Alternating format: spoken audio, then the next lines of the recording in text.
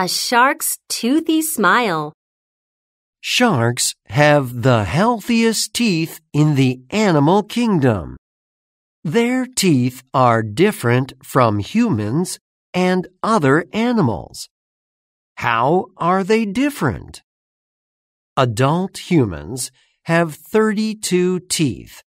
But what about sharks?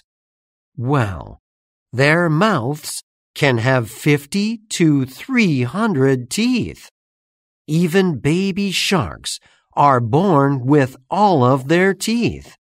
But sharks can lose at least one tooth each week. They can fall out easily when they eat. Why? It's because their teeth don't have roots. But don't worry. Sharks have many rows of teeth. They are always growing. New teeth move and replace the lost teeth. It can take one day or two weeks.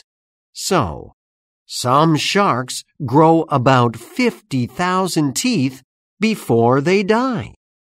Your teeth are not the same as a shark's. They will not always grow. So, take care of your teeth.